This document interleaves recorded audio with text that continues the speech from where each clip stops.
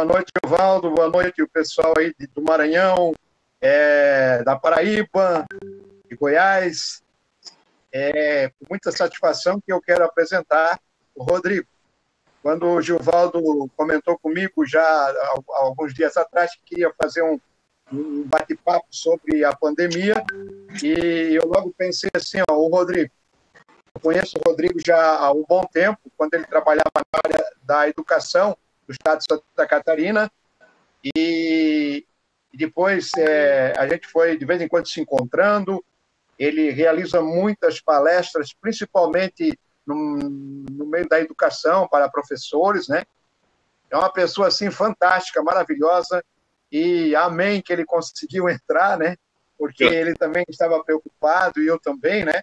Até porque agradeci também ao Junimar da TV Guanaré que vai estar gravando e depois vai vai vai vai vai veicular algumas falas do Rodrigo e o pessoal que vai entrando, né? Santa Catarina, mais alguns que vão entrar ainda. É, eu sei que vocês vão, eu, eu tenho certeza que vocês vão amar essa pessoa assim maravilhosa que hoje é secretário de comunicação da nossa prefeitura. É uma pessoa muito querida aqui no nosso meio e ele tem alguma coisa para acrescentar, né? E pelo fato de vocês conhecê-lo também, eu já fico feliz. Então, Rodrigo, é, é, é um prazer, tu, eu fico muito feliz por você ter aceitado o convite, né? E conhecer esse nosso pessoal aí do, do Nordeste, principalmente, e do Centro-Oeste. A fala é com você, você vai falar aí o que você quiser durante os 30 minutos, fala da pandemia, quiser falar da, da tua pessoa, da tua formação, mas focando mais na pandemia, e depois, né, é, a gente vai fazendo perguntas, vai colaborando com a tua fala, eu já tenho aqui mais ou menos umas 35 perguntas, já está aqui, né? Eu, imagina aí o Julimar, o Nelson, lá de Coelho Neto, nós temos o Nelson lá de Coelho Neto também, Peru do Maranhão. A palavra é tua, Rodrigo. Muito obrigado. E agora, então, eu vou desligar o microfone e o microfone do Rodrigo fica ligado até eh, terminar a fala dele. Muito bem, Alcino, obrigado. Obrigado mais uma vez pelo convite, dizer que é um prazer estar com vocês, obrigado mesmo. É, pedir mais uma vez desculpas né, pela demora, pelo atraso, foi um probleminha técnico aqui, mas graças a Deus tudo resolvido. Né? Então, falar um pouquinho sobre a pandemia, né, esse momento que a gente está vivendo, é, eu posso dizer que aqui em Brusque, Santa Catarina, eu vivi de perto né, todo o processo, desde o início, né, desde o primeiro caso, desde todas as ações que nós fizemos enquanto Secretaria de Saúde, eu pude estar à frente de tudo isso, né, visitei 684 pacientes positivos, fui para Manaus, conhecer o tratamento de é, VNI, né, de ventilação não invasiva, que a gente acabou trazendo aqui para Brusque, deu muito certo, e eu pude participar de todo esse processo de pandemia até chegar a primeira vacina aqui em Brusque. Né? Eu fui pessoalmente buscar essa vacina e no dia que eu trouxe ela para cá, eu assumi um novo cargo que é de secretário de comunicação aqui do município. Então é como se fosse um coroamento de todo o trabalho, né, de tudo aquilo que a gente passou e viveu por aqui. É, eu, eu gostaria de começar a minha fala é, eu não costumo ler nas palestras que eu dou, eu sou palestrante desde 2008 e eu nunca li, né? Mas eu gostaria de partilhar, compartilhar com vocês um texto que para mim foi um dos textos mais incríveis que eu li, né, de uma autora chamada Adriana Giampietro. E esse texto é de janeiro do ano passado, e ela fala exatamente né, de tudo aquilo que a gente começou a viver e eu estava relendo o texto ainda há pouco aqui, é como se passasse um filme na minha cabeça de tudo aquilo que a gente viveu. E eu acho que é oportuno para que a gente possa refletir aquilo que a gente se propôs a refletir a partir de agora. Tá bom? Se vocês me permitirem, eu vou ler esse texto né, para que a gente possa para que a gente possa conversar depois é, com base nele. O texto chama-se A Terceira Guerra Mundial Chegou e Não Nos Demos Conta texto fala assim: Eu nasci poucos anos depois do fim da última grande guerra. e desde pequeno ouço falar que a Terceira Guerra Mundial provavelmente iria dizimar grande parte da raça humana. Acho que chegamos nela e nem nos demos conta disso. A diferença é que eu, na minha inocência, acreditava que seria uma briga de algum país rico contra outro país rico, em busca de alguma riqueza maior ainda. Que esses países inventariam bombas terríveis e com toda a força bélica iriam demonstrar quem era o mais forte. Errei. Errei feio. Descobri que o país mais forte na Terceira Guerra Mundial não é o que tem mais armas de fogo, não é o que investiu em força bélica ou armamento nuclear. O país que vai ganhar a guerra é aquele que soube investir na ciência, na saúde em sua infraestrutura hospitalar. Porque o inimigo não morre com um tiro, ele é invisível. Mas em uma coisa eu estava certo: muitos vão morrer. Essa guerra está aí para inverter valores. Veja, o petróleo sem consumo não vale nada. Não é mais ouro negro, como sempre disseram. O ouro hoje é em gel e transparente e só serve para desinfetar. Shoppings fechados, lojas desertas. Para que comprar se ninguém vai ver a bota nova comprada na loja cara logo do lançamento da coleção outono e inverno?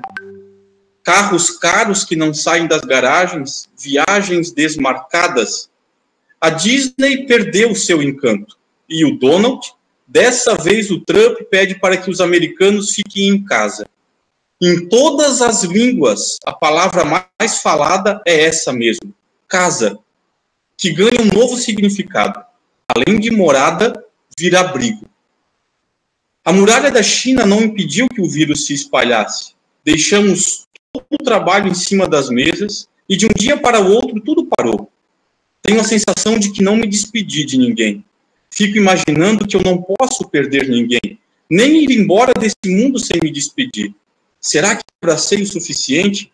Será que disse a todos o quanto eu os amo? Não sei. Essa guerra me deixou sem chão. Verdades tão óbvias apareceram e quebraram paradigmas. Precisou que o mundo parasse e o vírus ameaçasse a nossa sobrevivência para que os pais percebessem que educação se faz em casa e que escolas são centros de socialização, que ensinar não é fácil e que professores são muito mais heróis do que aqueles que o cinema mostra, que os mitos estão nos hospitais de máscaras e sem condições de trabalho, e não no Planalto, onde a idiotização das pessoas toma forma humana e sem escrúpulos. Desse tsunami, aliás, se você aprendeu com a sabedoria dos mais velhos, Sorte a sua. O mundo depois desse tsunami será mais jovem, com menos rugas e menos sábio. Ou talvez a sabedoria apareça nesse tempo, desde que ele sirva para entendermos que viagens foram canceladas, para que porque a grande viagem que deve ser feita é para dentro de nós mesmos. Para que você entenda que o importante não são custos, mas valores. Que essa guerra sirva para que você reveja seus conceitos. Entenda que rico é o trabalhador, sem ele não existe riqueza. Que sem um homem a natureza é mais feliz e o céu mais azul. Que amigos usam a tecnologia para se fazer perto e que não existe distância para aqueles que se amam. Que vencer uma guerra no sofá é uma bênção e está em suas mãos. Sua casa é sua trincheira. E na Terceira Guerra Mundial, a granada mais perigosa é água e sabão. E quando passar, olhe para essa quarentena e veja que ela foi apenas o tempo de incubação que você precisou para renascer. É um texto que, que eu confesso que, que mexeu bastante comigo. Né? No início da pandemia, em algumas lives que eu, que eu proferi, é, eu confesso que ao ler o texto eu me emocionei por diversas vezes, né, principalmente quando falava em relação aos professores, as condições inadequadas dos profissionais é, nos hospitais, os profissionais de saúde, né, e, e falando de tudo isso, ou, analisando, percebendo todo esse contexto, né, eu via os nossos profissionais, os meus profissionais da saúde, adoecendo. Né, adoecendo em todos os sentidos, não só em virtude do vírus, mas adoecendo emocionalmente, psicologicamente, Eu penso que, que esse vírus ele veio para que, exatamente como disse a Adriana Gianpietro no texto, para que a gente pudesse rever alguns valores.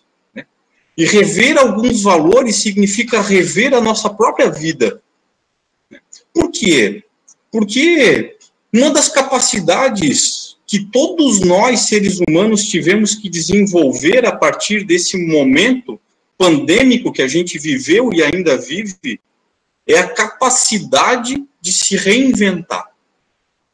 Eu fiz uma live exatamente com esse tema, a capacidade de se reinventar. Por quê, Rodrigo?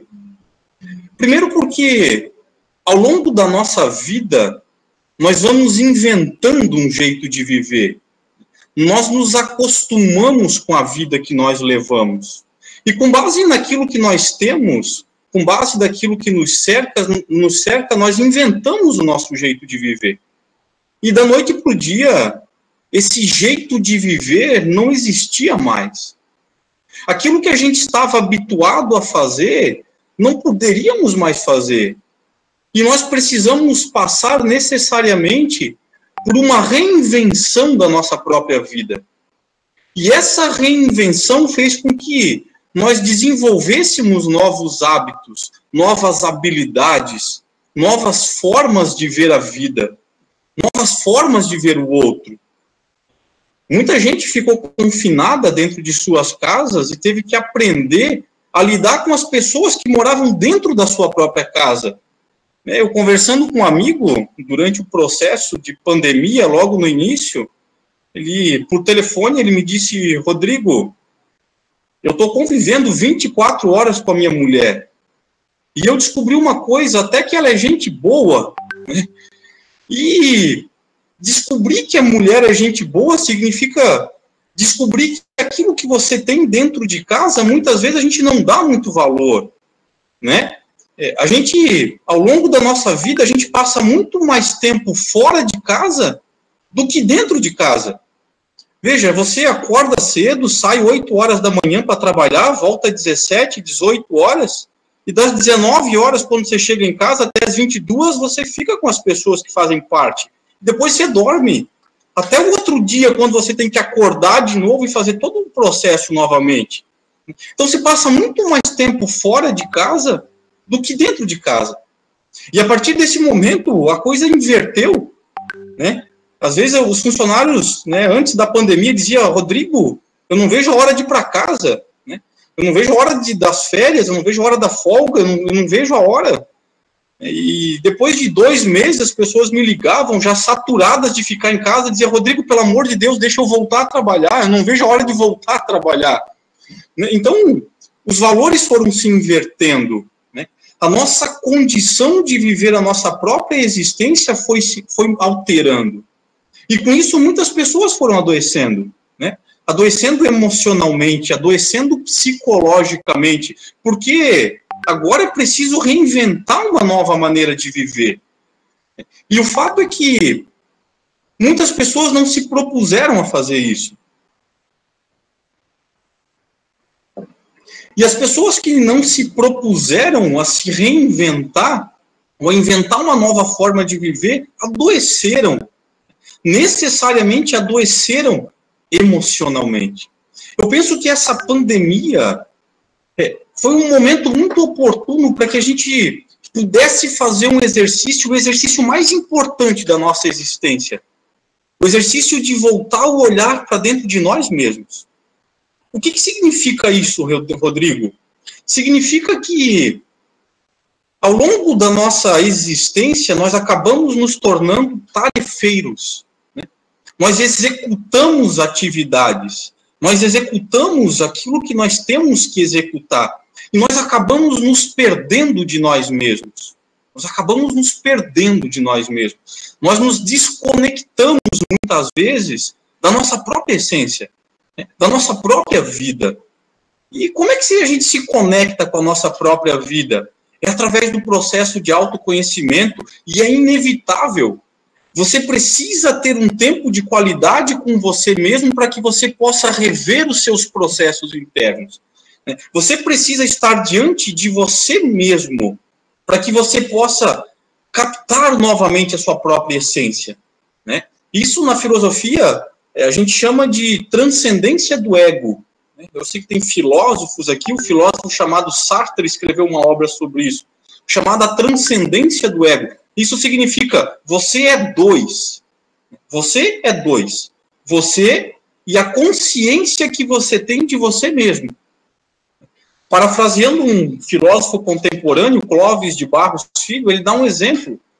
Às vezes você chega em casa, você tira a roupa, olha na frente do espelho e vê que engordou. São dois. O gordinho do espelho e o que vê que engordou. E um tá sempre bravo com o outro. Um nunca gosta do outro, né? Ou seja, você é dois. Você e a consciência, ou a imagem que você tem de você mesmo. E, e, refletir sobre você mesmo é refletir sobre a essência da sua própria vida. E quem soube fazer isso, teve a capacidade de passar por esse processo pandêmico com muito mais qualidade. Porque muitas vezes nós fugimos de nós mesmos, com medo daquilo que nós vamos encontrar dentro de nós mesmos. E quando você está diante de você, ou você está apenas com você mesmo, você não tem como fugir de você. Você precisa encarar aquilo que existe dentro de você. E para muita gente isso é difícil, porque as pessoas fogem de si mesmas. Essa é a grande realidade. Né? As pessoas têm medo do silêncio. A prova é disso aqui. Muitas vezes você entra no carro, a primeira coisa que você faz é ligar o som do carro. Você chega em casa, a primeira coisa que você faz é ligar a TV, mesmo que você vai para a cozinha fazer alguma coisa. Mas o silêncio incomoda muita gente. Porque o silêncio é a oportunidade que você tem de se encontrar com você mesmo. Ou seja, nada além do que você ter a capacidade de responder uma pergunta muito simples: quem sou eu? Né? Quem sou eu? O título do meu livro chama-se Conhece-te a ti mesmo. Por que da necessidade, da importância da gente refletir sobre quem a gente é? Isso se evidenciou muito durante esse processo pandêmico. E o agravamento da pandemia, não estou falando enquanto pandemia em si agora, mas eu estou falando enquanto processo psicológico que fez com que muitas pessoas adoecessem e se tivessem seu quadro emocional agravado em virtude da pandemia, né, essa é a realidade. Eu acho que esse é um ponto importante para que a gente possa discutir. É, muitas pessoas, ou muitas dessas pessoas, é, nunca responderam a essa pergunta: quem sou eu? Porque você é muito além daquilo que está no teu RG. Geralmente, quando nós vamos responder a essa pergunta, nós sempre nos utilizamos como base a nossa utilidade. A nossa utilidade sempre serve de base para respondermos a essa pergunta: quem sou eu?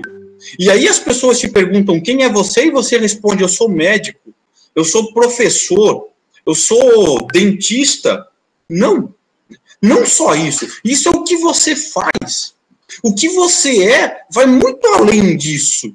Né? Nós sempre nos definimos com base na utilidade que nós temos para as pessoas. E refletir sobre a nossa verdadeira essência significa refletir sobre aquilo que me fez ser o que eu sou, ou seja, as escolhas que nós fizemos. Porque o ser médico e o ser professor é fruto de uma escolha que você fez. Né? E por trás das escolhas que a gente faz estão sempre os nossos valores. Preste atenção nisso. Nós somos frutos das nossas escolhas e as nossas escolhas estão pautadas sempre nos nossos valores. Por isso, você é um compilado daquilo que você viveu, experimentou, daquilo que você acredita, das escolhas que você fez ao longo da sua vida que te fizeram ser quem você é. E isso é, tudo é muito complexo, porque nos definir significa ter a capacidade de voltar o olhar para dentro de nós mesmos e, e, entrar dentro da nossa tenda. Essa é a palavra, tenda. Né? É, muitas pessoas dizem assim, Rodrigo, eu não consigo entender fulano, eu não consigo me entender. Entender é uma palavra que vem do latim que significa entender, ou seja, entrar na tenda. Não sei se você já fez essa experiência de entrar numa tenda alguma vez, mas quando você entra numa tenda, você logo vê tudo que tem lá dentro. Né? Diferente de uma casa que você vai para o quarto, você vai para a cozinha, você vai para a sala, né? a tenda é diferente. Quando você entra na tenda, você logo vê tudo aquilo que existe lá dentro. Fazer processo de autoconhecimento, se ter nas mãos, significa ter a capacidade de entrar dentro da sua própria tenda, ou seja, dentro da tua própria vida. Porque é na tua história que você encontra elementos necessários para responder a essa pergunta: quem sou eu? E responder a essa pergunta é algo fundamental para que você possa lidar com qualquer crise existencial, por qualquer pandemia. É claro que existe o fator biológico, né? existe o fator fora de nós que foge da nossa competência. O vírus está aí, contaminando, matando, fazendo pessoas sofrerem.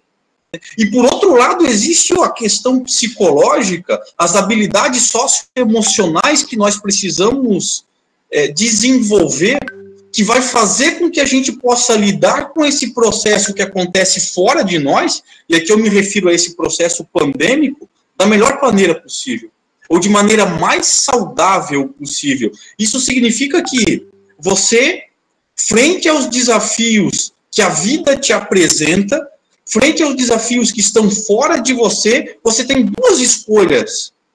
Ou você se acovarda, se apequena dentro do teu próprio mundo, ou você tem a capacidade de voltar o olhar para dentro do teu próprio mundo, encontrar a tua própria essência, encontrar a força que você precisa para enfrentar tudo isso, ou então você vai adoecer.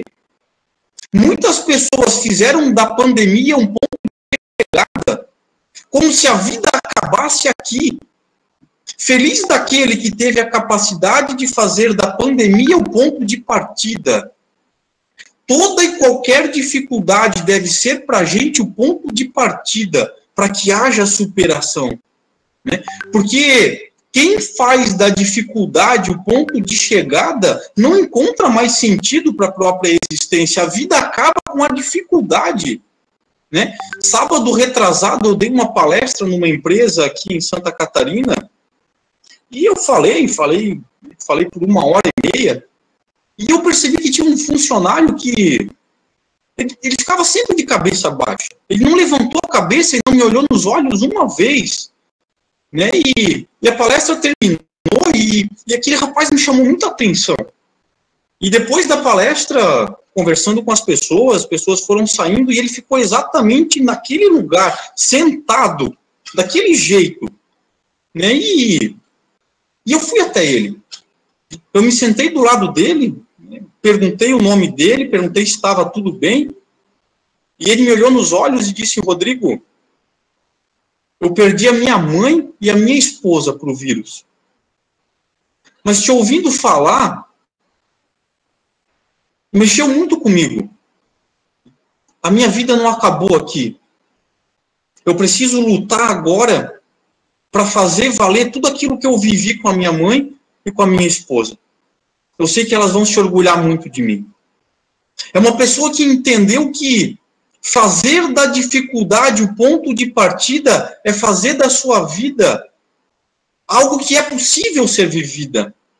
É possível ser vivida. E para isso você precisa entender né, que, que você precisa aceitar aquilo que você não pode mudar. E aceitar aquilo que você não pode mudar significa que você precisa encontrar dentro de você forças, maneiras alternativas de reinventar o seu jeito de viver.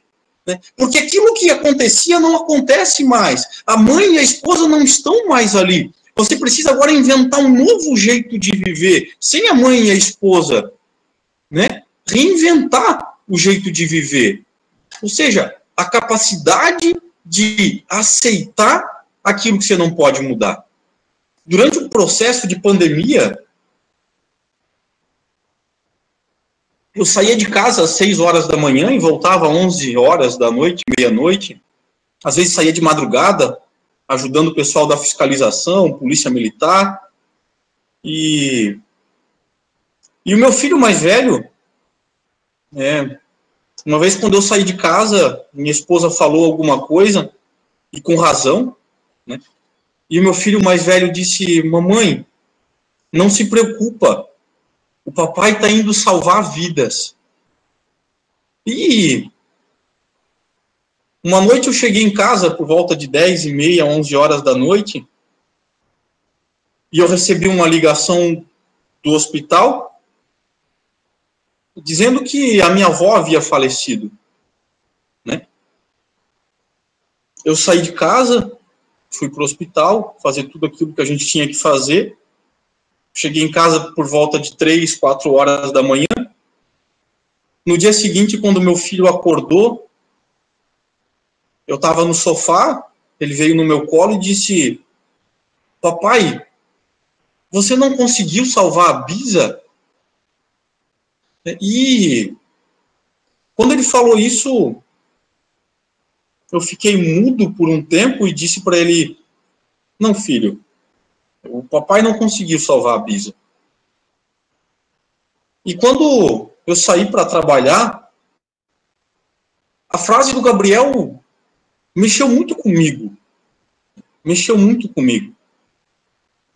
Era uma criança me ensinando que a gente tinha que aprender a aceitar aquilo que a gente não pode mudar. E esse processo de pandemia, ele serviu muito para isso, para que a gente pudesse aceitar muitas realidades que estão fora de nós, como a pandemia, que a gente não pode mudar. Por outro lado, existe uma realidade que nós podemos mudar e transformar. É a realidade que está dentro de nós.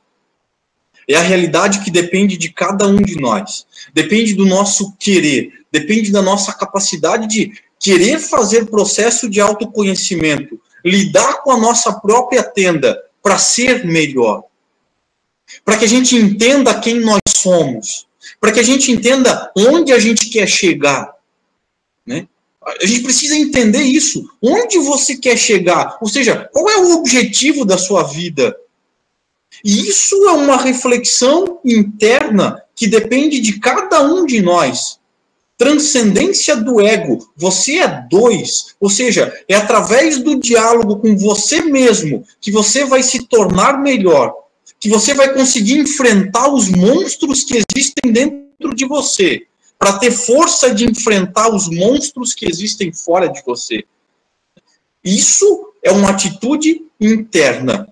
Isso é uma atitude pessoal. A pergunta é: para onde você quer chegar? Para isso você precisa responder: quem é você? Quem é você?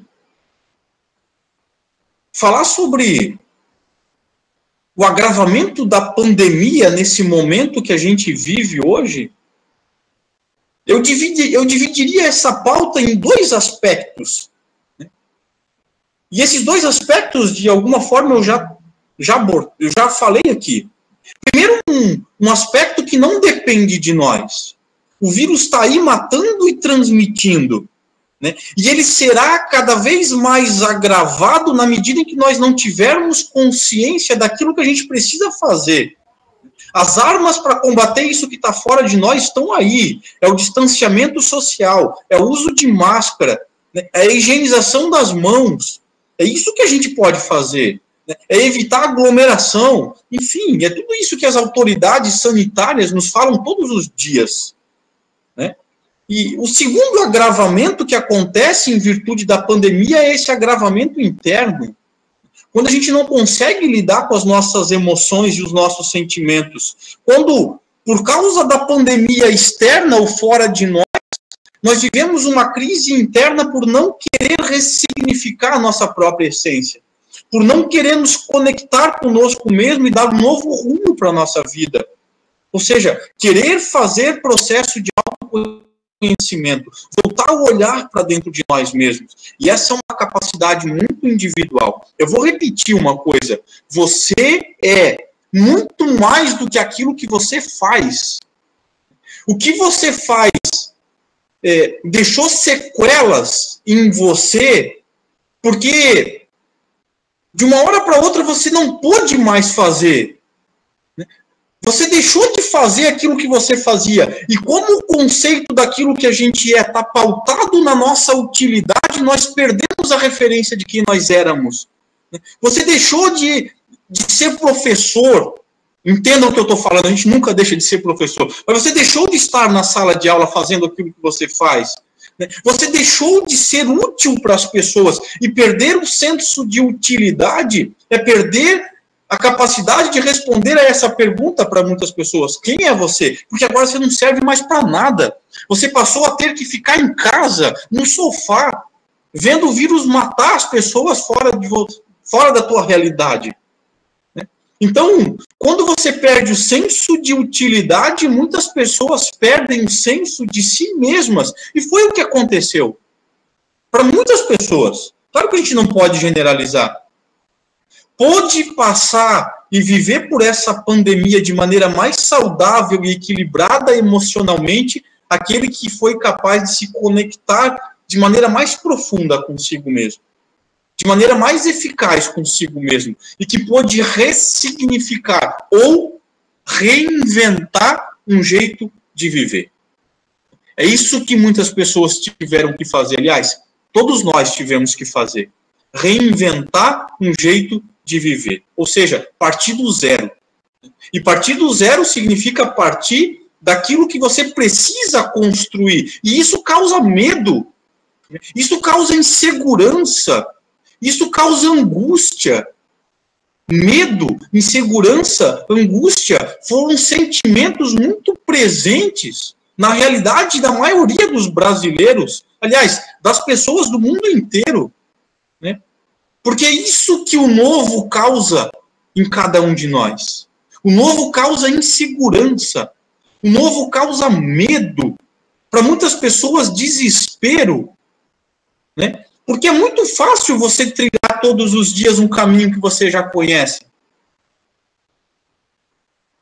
Agora, a partir do momento que você precisa escolher um novo jeito de viver, você está diante da angústia. O novo nos causa angústia. E essa angústia paralisou muita gente. Por medo de não escolher o caminho certo, muitas pessoas não escolheram caminho nenhum. E paralisaram paralisaram na história da sua própria existência. E é isso que a pandemia trouxe de agravamento emocional, psicoemocional para muitas pessoas. Muitas pessoas entraram em depressão, depressão profunda. Muitas pessoas se separaram. Muitas pessoas se suicidaram, sim, né? por não saber lidar com esse agravamento desse aspecto que depende de cada um de nós, desse aspecto individual, né? psicoemocional.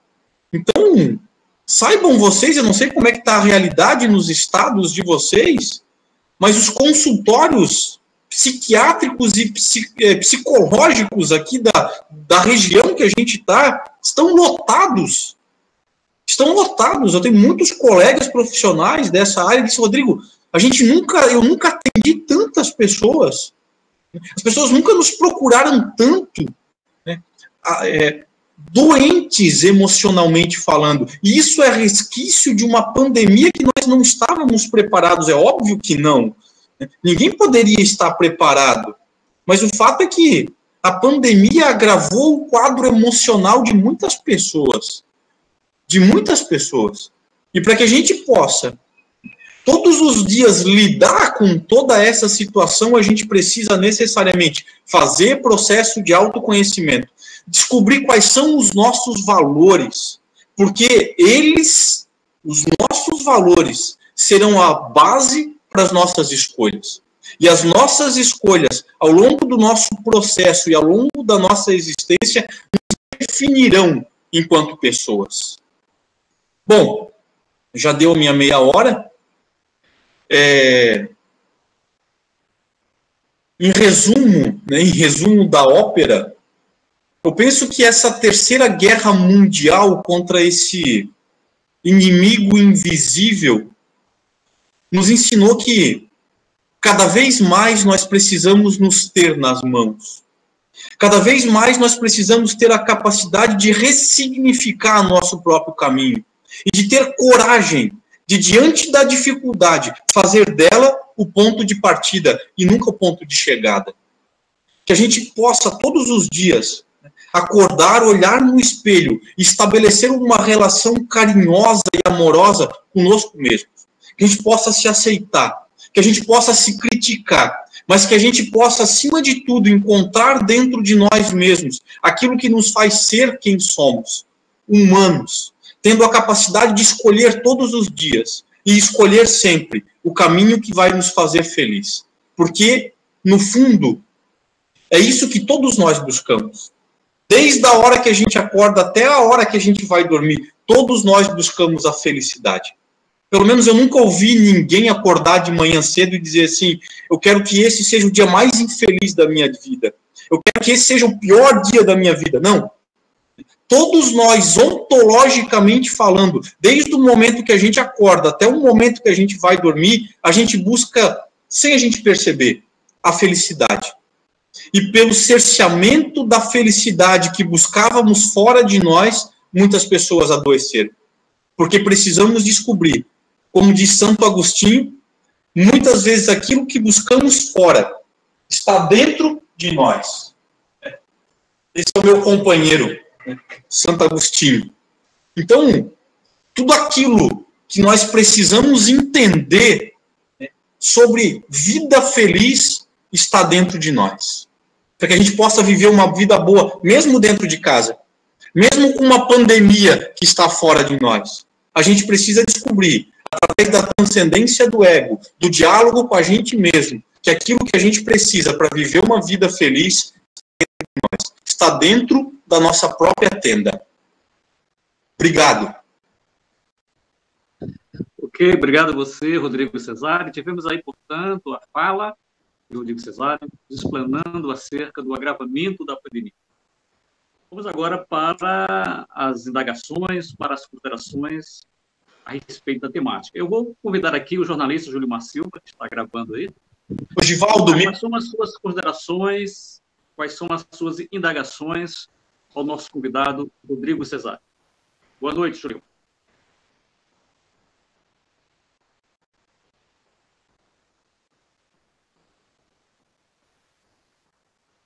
Legal.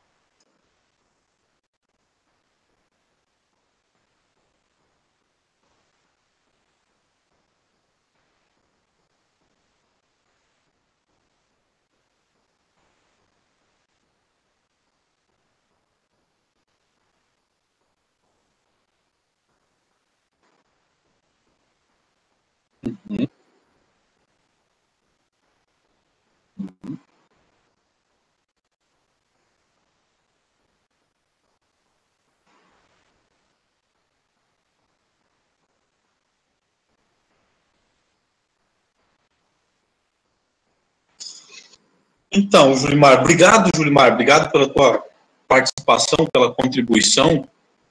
De fato, muitas pessoas não tiveram dificuldade de ficar sozinhas consigo mesmo.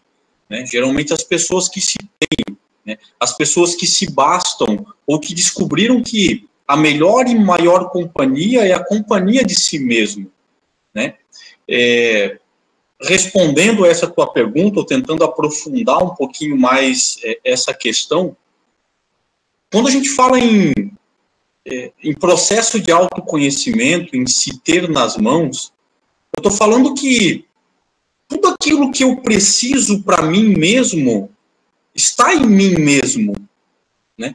Então, todo conhecimento teórico, todas as informações externas, elas são importantes e necessárias né, até para, o próprio processo de autoconhecimento.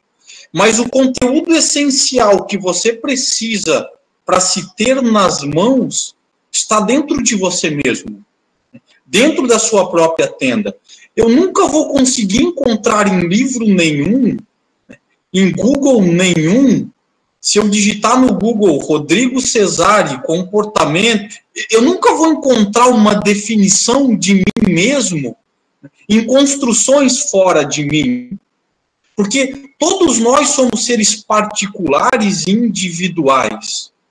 Todos nós somos a história que nós vivemos. E isso é muito individual. Isso é muito individual.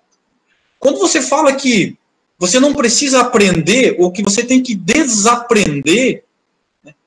O desaprender, eu penso como um significado de é, se desnudar? Tirar a roupa de si mesmo e se ver nu. Se ver nu. Todo o conteúdo que você precisa de você mesmo está dentro de você. E você precisa desaprender teorias, técnicas e práticas né, que te levam é, ao padrão. Ao padrão. Se você disser assim, Rodrigo, quem somos nós? Nós somos seres humanos revestidos de células que fazem processos de, me, de meioses, mitoses, que respira, que nós somos um complexo e nós temos características que nos é, definem enquanto seres humanos que nos definem, que nos diferenciam de outros seres, né? É, o que te diferencia de outros seres, que não é o ser humano? A tua capacidade racional, a tua capacidade de escolha, enfim, tudo aquilo que é nosso. Todos nós, seres humanos, temos as nossas próprias capacidades. E aí você pergunta: quem sou eu? Nós somos isso enquanto seres humanos, mas a pergunta: quem sou eu? vai além daquilo que nos caracteriza e define enquanto humanos. Perguntar quem sou eu é perguntar quem é Rodrigo Cesare.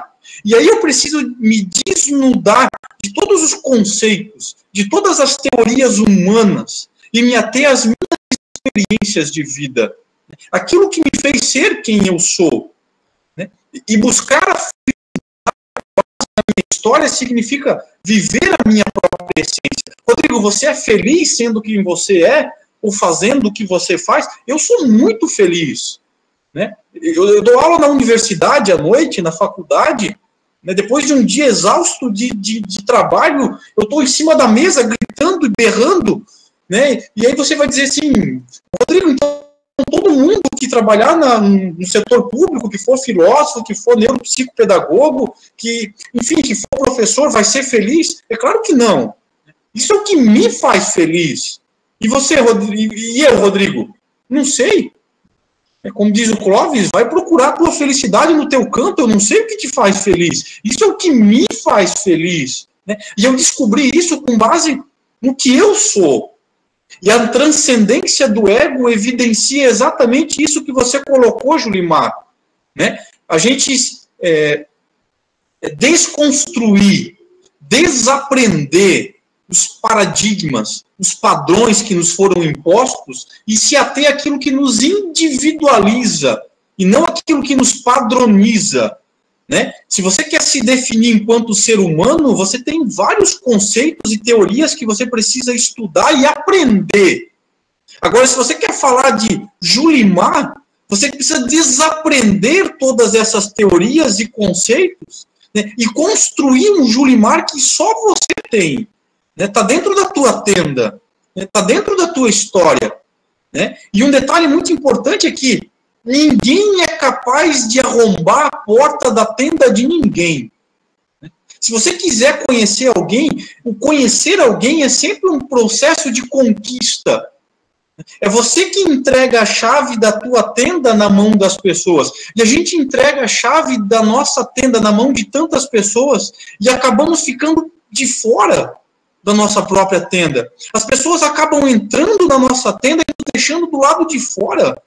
Antes de entregar a chave da tenda da nossa própria existência para outras pessoas, nós precisamos ter a coragem de primeiro entrar dentro dela e descobrir tudo que tem lá dentro que nos individualiza. Né, isso significa, assim, você precisa desaprender o conceito de tenda e aprender com o conteúdo que está lá dentro. E isso é muito individual. Espero que eu tenha respondido, Julimar. Ou contribuído, né? Ok, então nós tivemos aí o Rodrigo Cesare respondendo a Julimar. Vamos agora até a, a Paraíba, cidade de Paraíba, lá de Campina Grande, trazer Tarcísio Martins. Boa noite, Tarcísio Martins. As suas perguntas e as suas considerações ao nosso convidado, Rodrigo Cesare. Boa noite, Tarcísio.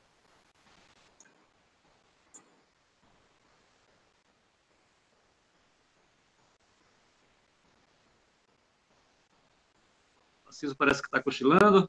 Ô, Tarcísio? Está com o microfone desligado, eu acho. Ok, ok. Legal. Eu digo, eu tenho iniciado parte dessa coisa, mas em determinados momentos, eu, nos últimos 20 anos, eu passei também momentos muito só. Eu fui saí daqui de João Pessoa, fui trabalhar em Recife até a aposentadoria só, e a família não acompanhou. Agora, mais bem recentemente, como eu falei para nosso amigo Alcino, eu estou desaposentando e vou para uma cidade praticamente é a mesma distância do Recife, mas sendo aqui no estado, Campina Grande. E eu tenho uma grande válvula de escape, que é escrever. No início, eu fiz alguns sonetos e queria deixar isso daqui para vocês, é, falando sobre essa questão da liberdade relativa, né, que a pandemia trouxe o vírus, que nos é, condicionou a isolamento.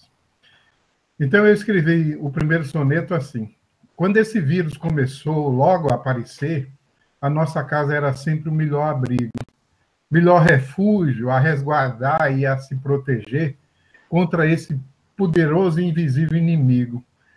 Até durou a casa como o melhor destino, melhor lugar para cumprir isolamento. Para uns, solidão, pena, um só tormento, para outros, recato, reflexo, procrastino.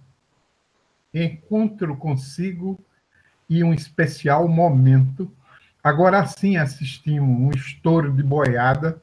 Parece que há um coletivo esquecimento que busca, por fim, essa vida entediada. Não se pode esquecer ceifada. Então, eu costumava pôr esse tipo de reflexão na, no meu Face, no meu Instagram, nas minhas redes sociais, que era para fazer essa provocação, porque, paralelamente, eu perdi muitos amigos. Há cerca de dois meses atrás, o meu vizinho de apartamento, porta a porta aqui, era muito resistente a essa história de, desses mecanismos de máscara, de coisa, não acreditava muito, e era um casal de idoso, e pagou com a vida. É, outros que seguiram aquela receitinha de bolo que, infelizmente, o nosso governo orientou muito mal a população, pagaram também com a vida.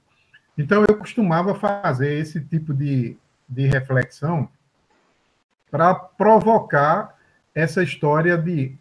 Claro, como bem falou o Rodrigo, é, cada um enfrentou do seu modo. Aqueles que sabiam lidar consigo mesmo, levou numa boa. Mas aqueles que nunca param até para pensar, para estar consigo mesmo, é, passaram maus momentos. No segundo momento, eu escrevi esse momento pandemia ainda não passou. Cuide-se bem, a pandemia não perdoa esses vacilos de quem anda descuidado. A virar números e estatística, a estatística ser somado. Recomendações que todos conhecem bem: máscara, distância e não viver aglomerado. Poucos a demonstrar preocupação com o que se tem. E quem se sente bem e de viver mascarado? Quem gosta de viver a regra do distanciamento? Somos seres gregários e não é bom viver isolado. É o mínimo que buscamos a viver com cuidado para virar estatística e próximo lamento de ter sido ao céu precocemente alçado. Eu fazia essas provocações assim, meia bombástica, até para sensibilizar, porque eu tenho um bocado de amiguinhos teimosos a minha classe de contador, a classe contábil, você não imagina. É, é, tem colegas que até hoje proíbem até os funcionários de seus escritórios a usar máscara, que é um absurdo, e já teve gente se, se contaminando. Né? Então, a ideia que eu tive nessa, nesse momento foi bom, foi uma introspecção, eu fiz determinadas, né? aquela autoanálise de algumas coisas que eu precisava me encontrar. É, era essa colocação que eu queria fazer e deixo para Seu... o Rodrigo comentar aqui. Legal. Seu Tarcísio, obrigado pela, pela contribuição.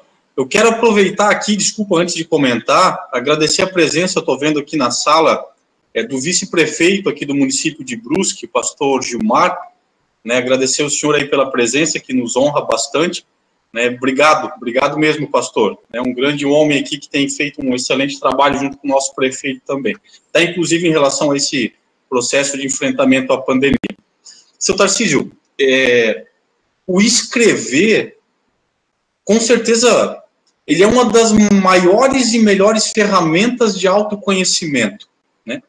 No último capítulo do meu livro, quando eu falo sobre é, o autoconhecimento na prática, é, eu deixo exatamente uma sugestão. É, eu não vou dizer que eu criei, mas que eu vivi e que me ajudou muito nesse processo de autoconhecimento. Durante muito tempo da minha vida, é, sempre que posso ainda faço, eu escrevo à noite sobre o que eu senti ao longo do meu dia. Os meus sentimentos, as minhas emoções, colocadas no papel. Não é digitar, não, é escrever. Porque o ato de escrever significa, isso é muito simbólico, isso é muito simbólico. Significa você se debruçar sobre você mesmo. É o ato que você tem de colocar para fora aquilo que está dentro.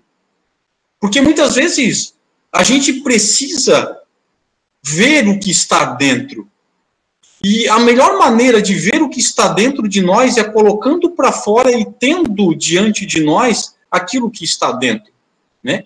E é um exercício muito legal de todos os dias você ler os teus sentimentos, as tuas emoções, e não precisa mostrar para ninguém, depois você queima, você joga fora, você rasga.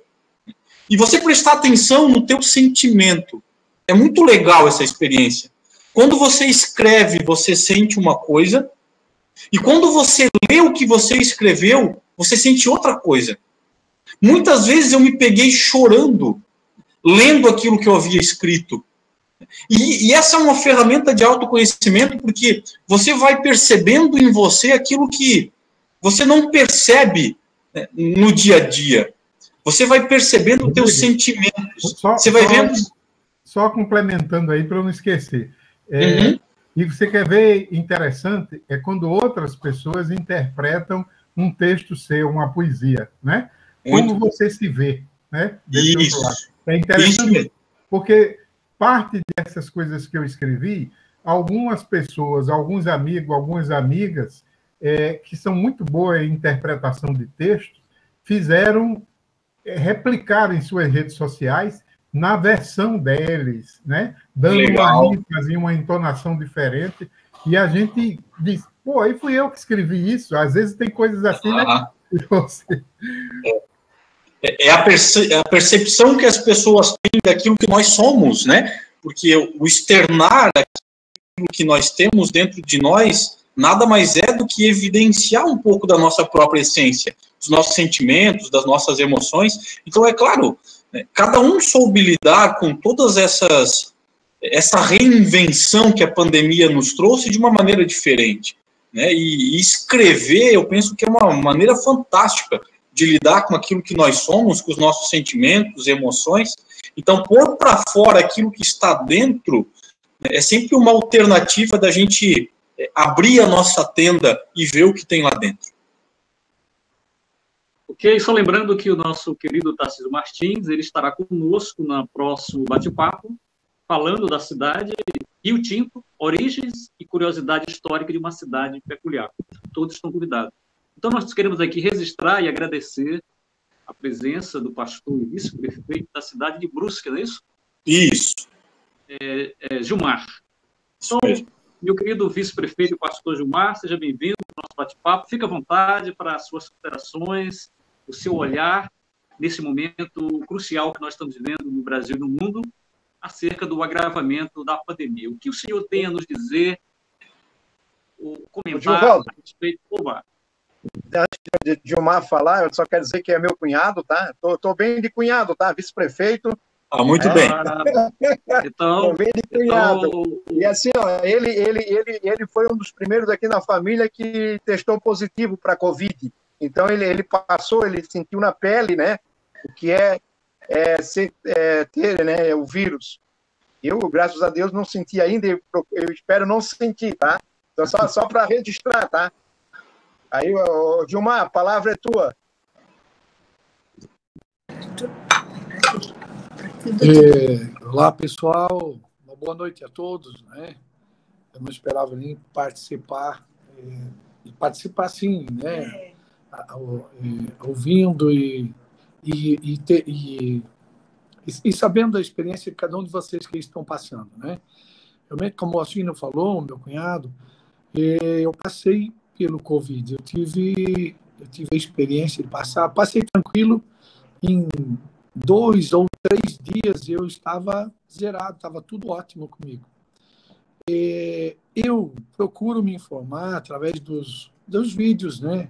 O pessoal que, que coloca algumas soluções e eu analiso e eu achando que eu achando que são plausíveis, eu acabo acabei usando. Então eu, como aconteceu com a cloroquina, que ela acabou saindo do mercado logo, eu fiz o seguinte, eu peguei, quando ouvi falar sobre a ivermectina, e foi convincente para mim o que eu tinha ouvido, eu já comprei e deixei em casa. Né? É claro, ah, não vai comprar porque vai faltar. Tudo bem, só que parece que a cloroquina eles tiraram do mercado para que ninguém fosse comprar. Então eu fui lá e comprei e usei a ivermectina. Tanto que, tipo assim, ó, eu estava eu, eu querendo eu ter a prova pessoal então eu comecei a ter a febre, a temperatura começou a aumentar. E a temperatura, media a temperatura aumentando, aumentando, e comecei a sentir sintomas de uma gripe muito forte. Eu acredito que ia ser muito forte né, comigo. Eu peguei já tomei a invermectina que eu tinha. No momento que eu tomei a invermectina, ele, a febre, a temperatura estabilizou e baixou um pouco. No outro dia, eu tive os sintomas de é, todo quebrado, como se fosse realmente uma gripe muito forte. Então, 24 horas depois, tomei mais uma dose de invermectina, porque a, a, justamente a doutora Lucy Kern, né, que eu tinha assistido o vídeo dela. E quando a gente não tem muita coisa o que fazer, é, quem, não tem, é, quem não tem cão caça com gato, não tem esse negócio? Então, eu peguei eu fui, não tinha nada, eu fui fazer alguma coisa. Havia tanta gente tendo problema, tantas mortes acontecendo, porque eu não vou é, usar? Usei. Eu tinha também ouvido falar um vídeo também do Dr. Roberto Zebalos, que falou sobre o corticoide. Então, no terceiro dia, se eu não estou equivocado, no terceiro dia, porque ele falava, ele fala alguma coisa que tipo assim, que precisa gerar, uh, gerar uh, a defesa. Então, no terceiro dia, eu tomei é, 60 miligramas de prednisona. E a, a febre estava estabilizada, a temperatura estava, tipo assim, ela estava um pouquinho abaixo, se eu não me engano, do 37, alguma coisa assim, um pouco abaixo de 37 a temperatura estava. E, mas eu, eu sentia uma coisa assim, um pouquinho estranha ainda assim comigo. Quando eu tomei a prednisona dentro de uma hora e meia, eu comecei a transpirar e foi como se tirasse com a mão. Exatamente o que o doutor Roberto Zebalo eh, eh, falou. Né? Aconteceu no dia seguinte, que eu lembro era uma segunda-feira, eu estava novo, como se tivesse saído assim de uma gripe muito forte. E eu não precisava mais fosse fazer algum teste para saber se era Covid ou não, porque eu estava me sentindo muito bem. Mas eu quis fazer e acabou dando positivo. Né? Então, essa foi a minha experiência. E é claro que, como Alcino tocou no assunto de que eu peguei, eu, eu, tive, eu tive Covid, a minha esposa também teve, e ela foi muito mais tranquila. É, ela já foi bem, ela começou, a, a, temperatura também começou a aumentar um pouquinho, ela, ela viu que estava meio estranho, eu já dei para ela a ivermectina também. E muita gente, eu comecei a divulgar na igreja, gente, compra a ivermectina, compra a ivermectina. Tinha gente que dizia, vai preso, vai ser processado. Eu não quero nem saber se eu vou ser processado. Para mim serviu. E para mim o que importava era se eu estivesse salvando vidas. Né? E não tinha problema de ir preso também, se for para salvar vida. Então eu peguei e fiz isso. Né?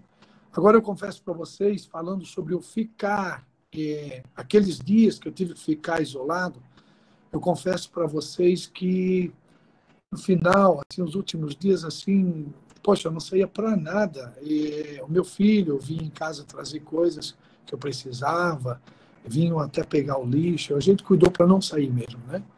Então, eu confesso para vocês que, não por causa do, do vírus, da situação, mas é uma situação muito chata, né? Mas eu acho importante aquilo que o Rodrigo colocou, eu acho que é importante, né? E eu, eu também procuro trabalhar muito, né? Eu minha meu interior, a minha maneira de ser, meu autoconhecimento.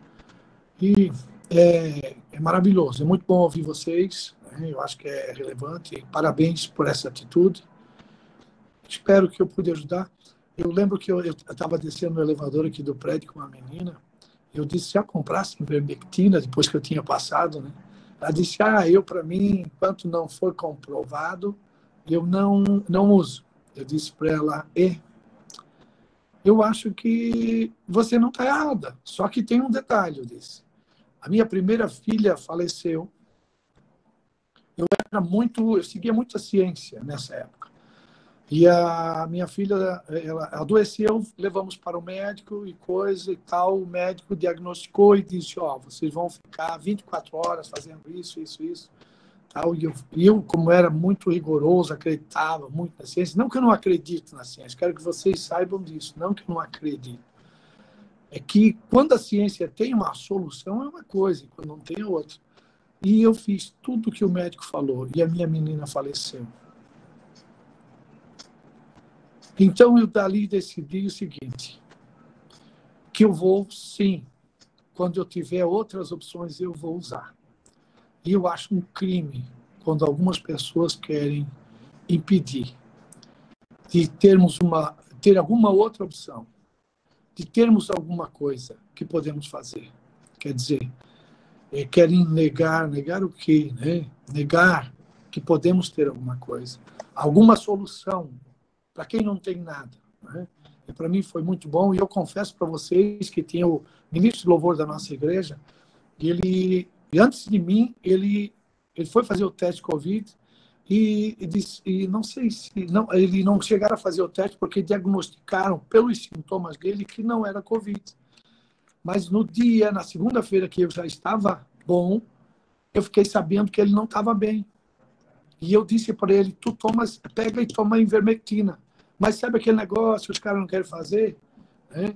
Eu fiz e falei com a secretária da igreja, vão lá, me compram ivermectina e levam para ele. Ele tomou, ele estava com dor nas costas e ele estava com muita dor na cabeça. E ele tomou, também disse para ele tomar três dias em ivermectina. Ele, ele sarou também. E quando eu fui fazer o teste, que foi só na terça-feira que eu pude fazer a coleta do material, eu disse, vai lá comigo, que ia ter Covid sim, com certeza porque ele tinha perdido o paladar já ali nessa época. Vamos lá fazer o teste, ele fez também, deu positivo para ele, deu positivo para a esposa dele. Então, e, eu passei a ensinar pessoas que já estavam com falta de ar e essas pessoas mudaram a história deles. Então, eu, para mim, quem quiser acreditar, acredita, quem não quiser acreditar, cada um acredita no que quiser acreditar. Eu creio que eu ajudei muitas pessoas. Na igreja eu divulguei, divulguei, tanto que chegavam na farmácia e as pessoas iam pedir ivermectina, não sabiam às vezes dizer, o próprio farmacêutico dizia, é aquele que o pastor fala, e já, já dá a ivermectina, depois proibir de vender sem receita. Então aqui em Brusque muita gente foi comprar ivermectina. Ah, acredito eu que ajudei. E se vocês acreditam, tudo bem, amém. Se vocês não acreditam, eu vou respeitar vocês a mesma coisa. Essa foi a minha experiência. Mas eu acho muito importante o que vocês estão comentando né, sobre autoconhecimento, é muito importante. Também uma outra coisa que eu quero falar para vocês, não sei se isso aí ajuda a vir acrescentar. O nosso prefeito, quando nós estávamos em campanha, ele testou positivo. E eu estive na Assembleia de Deus, que era um culto de despedida do pastor que estava aqui, e eu perguntei para o prefeito atual, que era o doutor Jonas, eu disse, e aí, o que, que deu do Ari? E sobre o teste que ele, que ele teve. Deu, deu positivo alguma coisa? Quando ele disse assim para mim, deu positivo, eu acho que eu sou cabeça, tá? Que eu sei. Vocês não acreditam. Eu comecei, parece, a ter sintomas de febre, de alguma coisa ali. Quando cheguei em casa, fui medir a febre, não tinha nada. Até disse para o pastor lá, estou indo embora, porque eu tive contato com o Ari e o Dr. Jonas falou para mim que ele testou positivo. Então, eu digo para vocês que cheguei em casa, já tomei ivermectina e eu nunca mais peguei. Tive contato com muita gente com ivermectina. Acredito que eu gerei também os anticorpos. Pessoal, um forte abraço a todos vocês. Acho que eu ocupei muito tempo de vocês. E deixa cada um de vocês falar um pouquinho. Um abração. Foi um prazer estar com vocês. Nós agradecemos. Tivemos a participação de Gilmar, vice-prefeito da cidade de Brusque, né? Colocando seu depoimento, sua experiência com o Covid, né? E que bom que você está vivo, né? E que você conseguiu que outras pessoas também sobrevivessem. Parabéns. É, volto aqui para o nosso querido Rodrigo Cesare, se quiser fazer algum comentário, alguma consideração. Quero registrar aqui a presença da Cristiane Bacelar. Boa noite, seja bem-vindo. É, Cesário, volto com você. Muito bem. Pastor, obrigado, né? Obrigado pela, pela participação, pela contribuição, com certeza, né? O fato é que não existe consenso médico sobre tratamento, profilaxia, né? muita gente, é, vitamina D, zinco, é, corticoide, não, entre os próprios especialistas infectologistas existe é, um grupo de pessoas que acredita muito nisso e existe um grupo de especialistas que também não acredita. O fato é que o vírus é tão novo, né, é, é uma novidade tão grande para todos nós que nem os próprios especialistas têm um consenso sobre o que é bom e o que não é. O que é fato? O fato é que é, o agravamento da doença depende muito do nosso processo imunológico. Né? Se o vírus te encontrar com um processo, é, com uma questão imunológica muito boa, né, a probabilidade de não agravar é muito grande.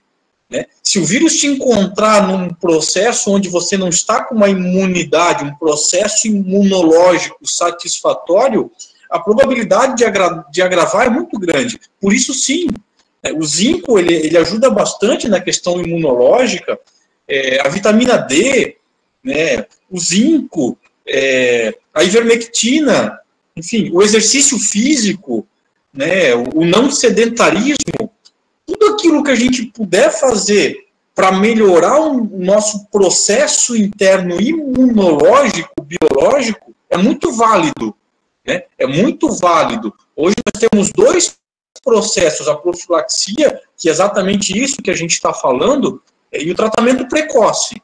É, o tratamento precoce é com os sintomas, né? Quando você começa, é quando você é, é, tem um diagnóstico positivo, e aí sim existe um protocolo medicamentoso, que também não é consenso, mas existe, né, como o pastor Gilmar falou, bom, a ciência não tem, então vamos às alternativas que a gente imagina que possa ajudar, né, com a própria azitromicina, com a prednisona, né, que é o corticoide, é a vitamina, enfim, né, em alguns casos a cloroquina, alguns acreditam na cloroquina, né, eu particularmente muito mais na hidróxido de cloroquina do que da, cloroquina em si, mas, mas enfim, né, o, o princípio é o mesmo, mas tudo aquilo que for possível fazer, né, ivermectina, vitamina, é como profilaxia, que aumenta o processo imunológico, é claro que é muito válido. Né, o pastor é prova disso, então eu acredito que, é, que o caminho seja esse, né, por falta de algum consenso científico, a gente tenta as alternativas que têm lógica dentro desse processo pandêmico. Né? Ok, muito obrigado. Vamos à cidade de Coelho Neto, aqui no Maranhão, chamar o nosso bate-papo, o filósofo, bem prosador, Nelson Gaspar, hoje tá, continua com o nome aí da Luísa, né? Boa noite, Nelson Gaspar, seja bem-vindo. As suas considerações, o seu questionamento ao nosso convidado, Rodrigo Cesar. Boa noite. Registrar aqui a minha satisfação de poder estar batendo papo hoje, né, a participação do Rodrigo, muito valiosa, muito enriquecedora, isso enobrece muito mais ainda a nossa sala de bate-papo, hoje com um convidado de peso, né?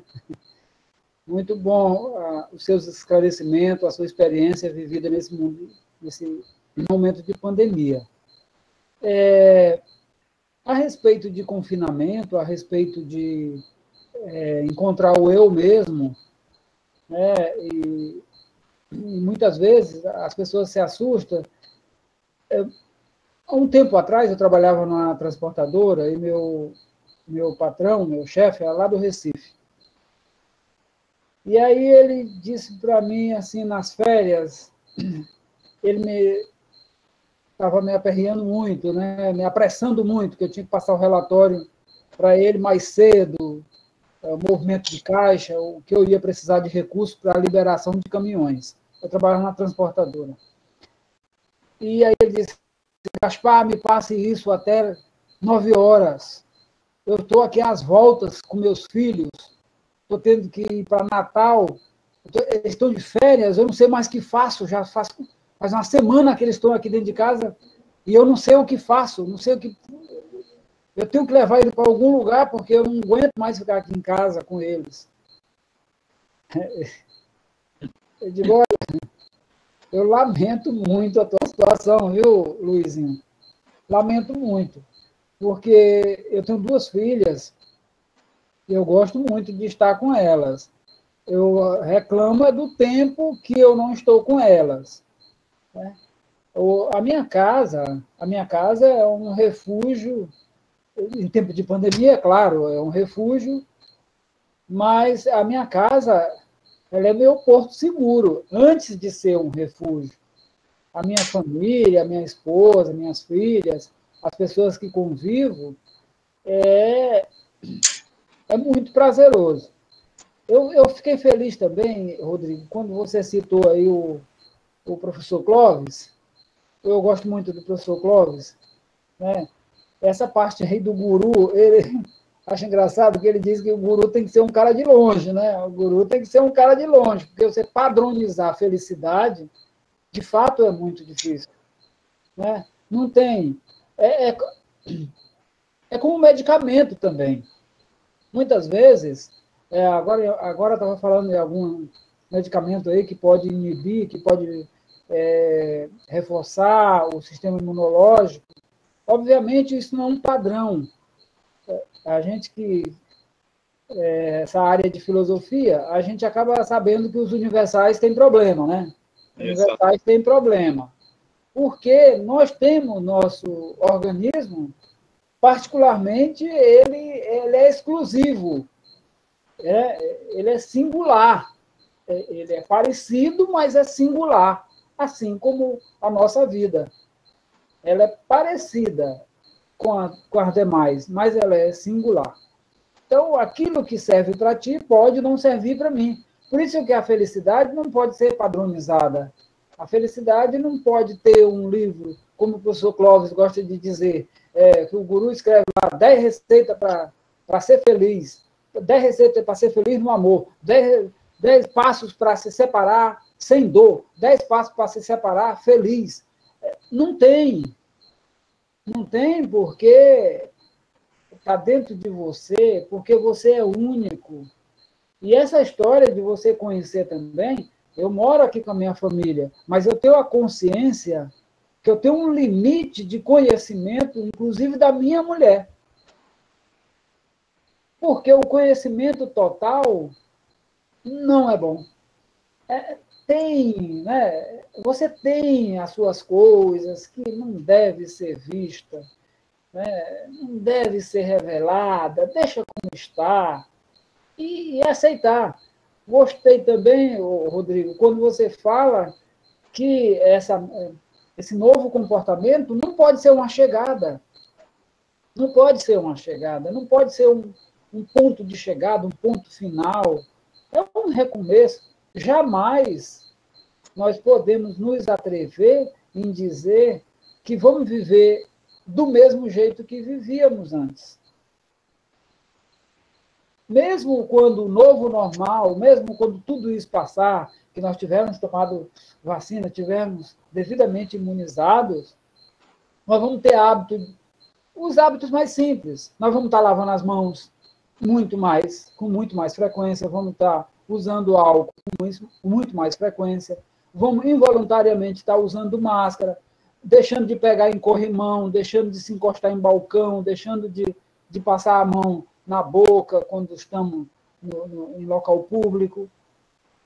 Ela veio para nos ensinar, de fato. É, talvez a gente estava, eu não vou dizer que isso a gente estivesse precisando, mas que ela veio ensinar, veio.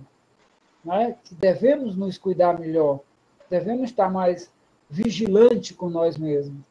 Hoje, só, só mesmo para essa observação, somente para dizer, agradecer, que para mim foi muito bom a sua, as suas explicações, é, ela consegue é, é, resumir nesse tempo que temos aqui mas com um aprendizado muito profundo, muito enriquecedor e que vai nos ajudar muito.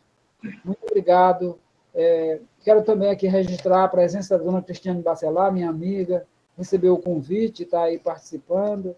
Que bacana, viu? É uma pessoa muito dinâmica, foi vereadora aqui do nosso município, é esposa de, um, de uma das pessoas que mais admiro, do doutor Magno Bacelar, que foi prefeito aqui da nossa cidade, foi deputado federal, cinco mandatos, foi senador da República, foi assessor do Ministério do Meio Ambiente, foi vice-prefeito de São Luís, é secretário de, secretário de Justiça, secretário de Educação do Estado. É, uma vasta experiência. E a dona Cristiane aqui hoje traz consigo também essa, essa experiência, traz esse rótulo, né? traz essa experiência para nos fornecer. Muito obrigado, eu, eu fico orgulhoso. Olha, Quinzeiro, você realmente é necessário, viu? Você é um ativista que, nossa, que bacana, viu? Ô, Alcino, e você, olha, cada vez que você aponta um, um convidado, é só para nos encher de, de enriquecer o nosso conhecimento e nos encher de alegria. Muito obrigado, viu? Tamo junto, viu, amigo? Valeu, valeu, Rodrigo. Grande abraço, grande abraço ao doutor, viu? Grande abraço a todos aí. A Gardênia que fazia dia que eu não via, tá? Seu Tarcísio, estou ansioso para ver nossas histórias aí, tá bom? Grande abraço a todos. Seu Nelson, obrigado. Eu que agradeço, obrigado pela contribuição. Eu só gostaria de fazer algumas, é, talvez algumas contribuições na fala do senhor. É, primeiro, quando o senhor fala de família, né, é, o senhor usou um termo muito, muito legal, que é o que eu acredito que eu tenho falado aos quatro cantos que eu vou, né, que a família é o porto seguro. É, uma vez, quando, quando eu estava indo para. Eu fui gerente de educação do estado de Santa Catarina, eu estava indo para Florianópolis junto com um amigo, e eu estava dirigindo, né, e ele estava no telefone do lado, e a gente sempre conversou muito, e de repente, do nada, ele virou para mim e disse: Rodrigo, define família. E eu fiquei mudo por um tempo. E falei, puxa vida, definir família. Aí eu lembrei de um filósofo que, que diz assim: se você me pedir para definir, eu não sei. Mas viver família, eu sei. Talvez faltariam palavras para descrever o que é ser ou viver família. O fato é que família nada mais é do que esse porto seguro. Né? É o lugar onde você pode ser quem você é. Né? Você pode abandonar suas máscaras, é, abandonar os seus papéis, arrancar suas máscaras e ser quem você é. Porque a família é aquele lugar que, que acolhe a nossa inutilidade. Presta atenção nisso. A família é o lugar que a gente tem que acolhe a nossa inutilidade. Porque quando você é professor ou quando você é médico fora de casa, quando você chega em casa, você não é mais útil fazendo o que você faz. Você é quem você é. E o amor ele se manifesta no acolhimento da nossa inutilidade. Eu falo pela minha avó, que faleceu, minha avó sempre foi muito ativa, né? Ela sempre trabalhou, sempre, sempre muito ativa, e chegou um determinado momento da, da vida dela que ela se, se tornou inútil. Ela só ficava na cama praticamente. Ela não tinha mais nada para oferecer. E mesmo na inutilidade dela, ela era acolhida. Ela era amada, porque a gente amava quem ela era. Ponto. Não o que ela fazia. Então a família é esse lugar onde nós somos acolhidos pelo que nós somos e não pelo que nós fazemos, não pela nossa utilidade. Por isso eu acredito muito que o senso de utilidade ele é um balizador para o critério do quanto somos capazes de amar com amor ágape. Isso aqui é um discurso sobre amor. Porque é a capacidade que nós temos de acolher as pessoas que convivem com a gente pelo que eles são. E, de fato, nós nunca vamos conhecer a pessoa que convive com a gente 100%. Né? É a famosa janela dos quatro vidros que a gente chama. Tem uma parte de nós que nós conhecemos e o outro conhece, tem uma parte de nós que nós conhecemos e o outro não conhece, tem uma parte de nós que o outro conhece e nós não conhecemos, e tem uma parte de nós que nem nós e nem o outro conhecemos, né? Então, o processo de autoconhecimento se dá exatamente na luta de conhecer quem nós somos, para nós mesmos. Né? E isso na família ele se evidencia muito. Feliz daquele, feliz daquele que encontra na família esse porto seguro que tem um lugar que possa ser quem você é. Eu sempre digo, infeliz daquele que vive a felicidade fora de casa, que vive bem fora de casa, e que quando volta para casa encontra um inferno, encontra uma guerra. E feliz daquele que vive, às vezes, mal fora de casa, mas que quando chega em casa encontra paz, encontra felicidade. Esse conseguiu constituir entender o verdadeiro sentido daquilo que é família. Isso é ser porto seguro. É você poder ser quem você é, mesmo inútil. Mesmo não podendo ser professor, médico, artista, mesmo você sendo quem você é, você é acolhido. E aí você foi capaz de constituir uma família. Porque as pessoas que estão com você, as pessoas que você ama, estão com você pelo que você é, pelo que você foi capaz de se dar a conhecer da sua própria essência e a capacidade que o outro teve de acolher aquilo que você é. Porque no início de qualquer relacionamento, nada mais é do que projeção interpessoal, projeção pessoal do outro. No começo, todo mundo é princesa, é rainha, é príncipe, vem montado num cavalo branco, né? e, e o convívio ele serve para isso né? para essas idealizações caírem por terra, para um saber do outro aquilo que sobra e saber que aquilo que sobra do outro depois que as idealizações caem por terra é o suficiente para caminharem juntos na mesma direção. Presta atenção nisso. Né? Você não é metade da laranja de ninguém. Você não é tampa da panela de ninguém.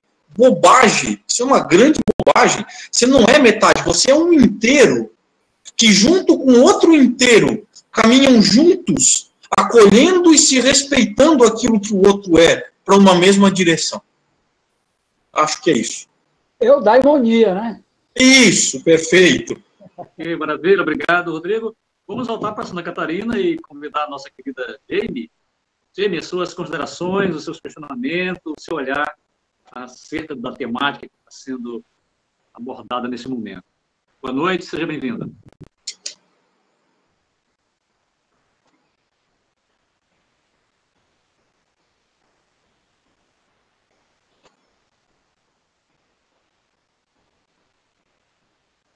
Parece que foi atender o cliente lá no restaurante.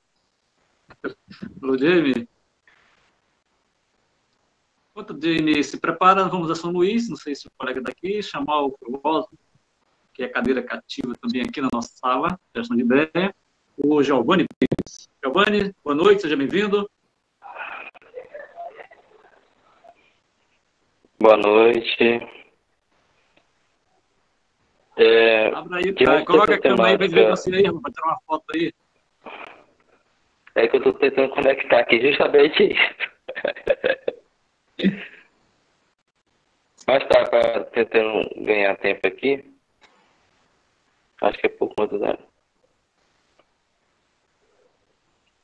Mas enquanto estou vendo bem aqui, eu gostaria só de, de, de refutar alguns pontos que não podem passar despercebidos diante da fala do nosso colaborador. Né? E, particularmente, eu, na, na, minha área, no que se refere à filosofia também, né, considerando, então, algum, alguns pontos filosóficos, é, Nietzsche, ele trabalha muito a, a uma questão bastante intrigante, né? inclusive ao distanciarmos da nossa dimensão biológica, compreendemos então, à luz da cultura, a vida como esse impulso criativo. E dentro dessa temática do criativo de Nietzsche, eu acredito que uma classe que tem buscado a vida na base da criatividade, sem sombra de dúvidas, fomos nós professores, principalmente da rede pública, estadual e municipal. Diante de um cenário que nós fomos treinados desde o, desde o curso a ter o contato direto com os nossos alunos e de repente, por conta de um cenário de pandemia, nós estamos então inseridos dentro de uma realidade mais virtual, que requer um não aproximamento aproximadamente uma, uma aproximação direta com o aluno e, de certa forma, há uma dupla via de solidão. Quando você está diante de uma tela como nós estamos aqui, você não vê se o aluno está compreendendo realmente de fato e, mesmo se realmente está ali. Sem contar que há um outro déficit enorme também, que é a questão do aprendizado. Né? É, Inicialmente, o rendimento de um aluno chega a 100%. Virtualmente, ali, por mais que ele intervenha algumas vezes, é, ainda assim fica complicado. Fica bastante complicado assim quando ele, ele tenta fazer intervenções. Mas diante da que ainda se virtual para nossa realidade de 25, 30 é alunos, ainda assim não, não é o suficiente para nós suprirmos. E nós sentimos, nós também professores, não foi treinado para essa realidade. Então, diante do impulso criativo também, aqui na, na, na nossa realidade de São Luís, né, que a pandemia pegou em cheio mesmo, e infelizmente da escola onde eu leciono, perto três funcionários da nossa escola, dois professores, um merendeiro, por conta desse vírus. Está diante de um, de um, de um da, da, questão da utilidade, né? querendo ou não, o professor esbarra a, utilidade é, é, é algo, uma fonte de renda e uma fonte de vida também. E esse professor, diretamente, ele vai para casa. Né? No, no finalzinho de março do ano passado, que é há poucos, poucos dias nós estaremos no ano dessa pandemia. E os primeiros dias, então, você volta. Se para a escola, sem sair de manhã, nem de tarde, o encontro consigo mesmo, foi e sempre é uma dialética para o ser humano. Estar consigo mesmo. Né? Quem sou eu? Eu sou um professor aquele professor ensina, leciona, ele perde totalmente toda essa habilidade. Então ele, ele fica há um sentimento de frustração que não está exercendo aquilo que ele se aprimorou para fazer pelo resto da vida e ao mesmo tempo um sentimento de incapacidade de não poder fazer nada.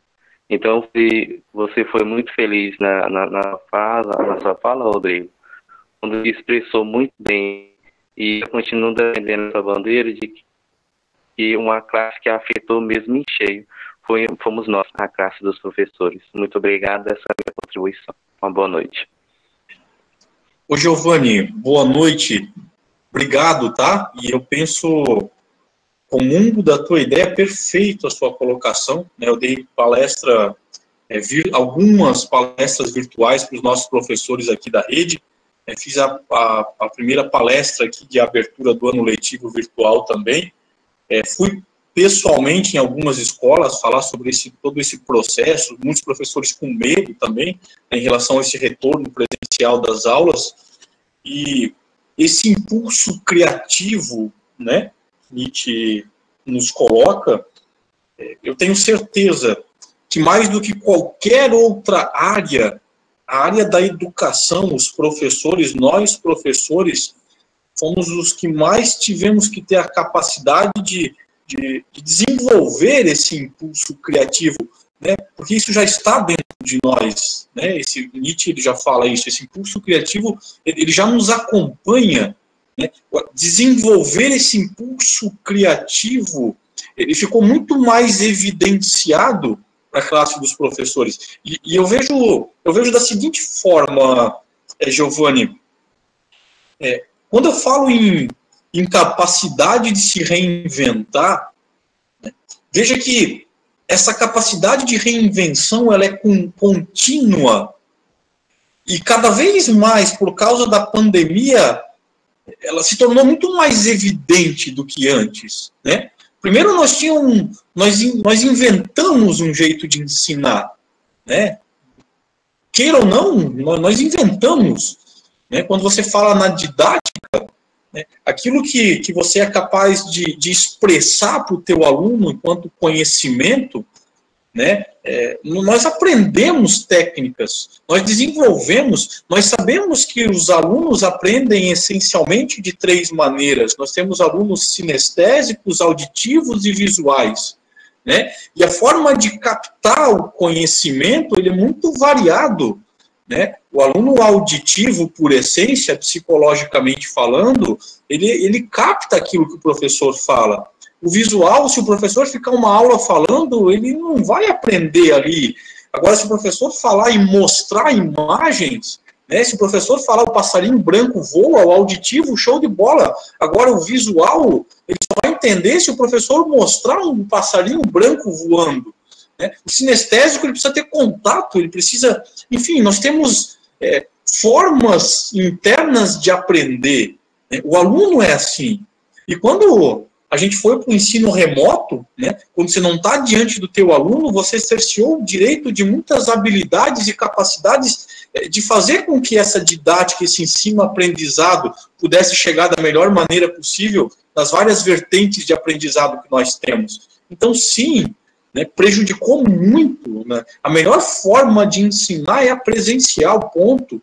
Né? Então, nós tínhamos essa forma, nós tivemos que nos reinventar? E aí vem o medo e a insegurança, né? Até que ponto, dessa forma online, eu sou capaz de atingir o meu aluno no conhecimento? O que, que ele está aprendendo e aprendendo daquilo que eu estou tentando transmitir de uma maneira diferente? E agora nós vamos passar por um novo processo de reinvenção. Porque eu não sei como está no estado de vocês, aqui a gente vai retomar o ensino presencial, né? e essa retomada do ensino presencial requer vai requerer novamente esse impulso criativo. Né? Porque o ensino presencial não vai mais ser como era antes da pandemia. Ser, a gente vai ter que reinventar um novo jeito de ensinar presencialmente. Né? Então, a gente vê que essa capacidade de reinvenção por esse processo que a gente passou, ele se evidencia muito na nossa área, na área da educação. Né? Isso afetou de cheio nós, professores. Né? Então, esse impulso criativo ele teve que vir à tona e a ser aflorado de uma maneira muito rápida. Né? E a gente continua passando por esse processo de reinvenção. Então, Giovanni, obrigado, né? muito bem muito bem citado, obrigado pela tua colaboração. Obrigado mesmo, Giovanni. Ok, meu caro amigo Alcino Miller, Alcino Miller já chegou aí com 35 perguntas, não fez nenhuma até agora. Então a bola passa para você, Alcino Miller. Está ter, tá terminando, Givaldo, está terminando a palestra e eu não fiz nenhuma pergunta ainda. Né? Eu, vou, eu vou resumir, eu até gostaria, Givaldo, que você desse a minha palavra para aqueles outros que estão ali, aqueles que estão chegando hoje, porque eu estou todo dia já há 26 sábados e vou ficar com mais uns 300, né? Porque é muito bom estar aqui. Então, eu, eu acho que até eu ia pular. Posso pular, não? Fique à vontade. Então, você que sabe, né? Então, vamos chamar é. aqui o... Não, então, então assim, ó, ô, ô, Gilvaldo, só, só, só para deixar assim para o Rodrigo e para vocês aí também, que nós estamos com 230 mil mortes no Brasil.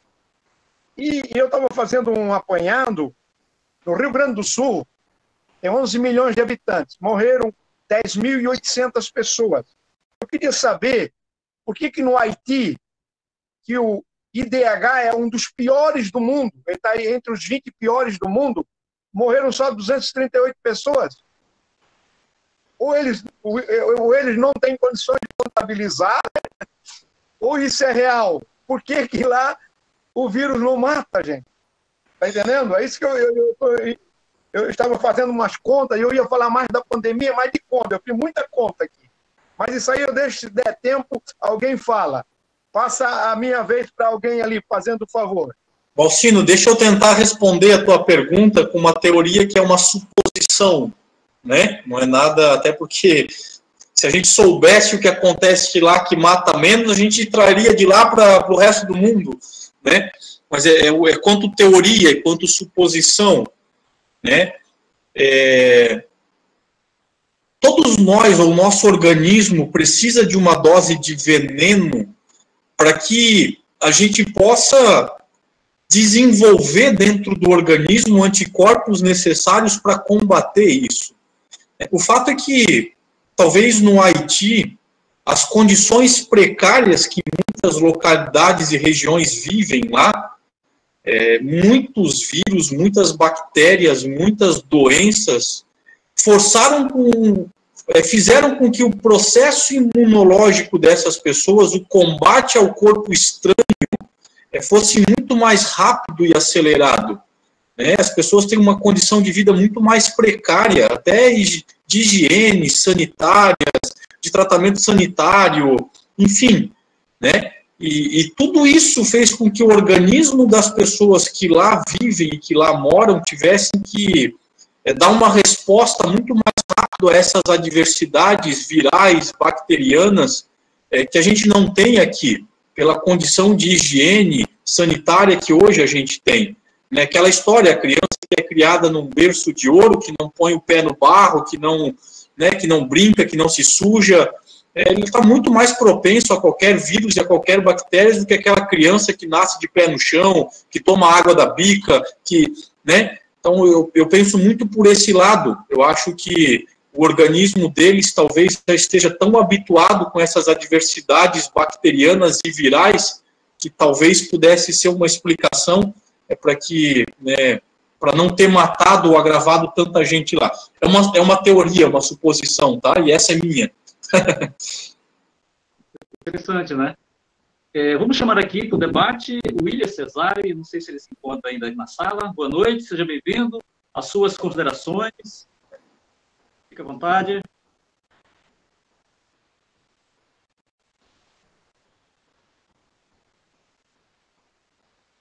Deve estar tomando uma cachaça, isso eu conheço bem. Ah, isso está tá inspirado, né? Gilmar, você vai perguntar, Gilmar? É, então, só aumentei, mas então vou chamar então a nossa Cristiane Bacelar. Boa noite. Seja bem-vinda. Suas considerações, seus questionamentos, fique à vontade. Caso você queira fazer algum comentário no nosso bate-papo.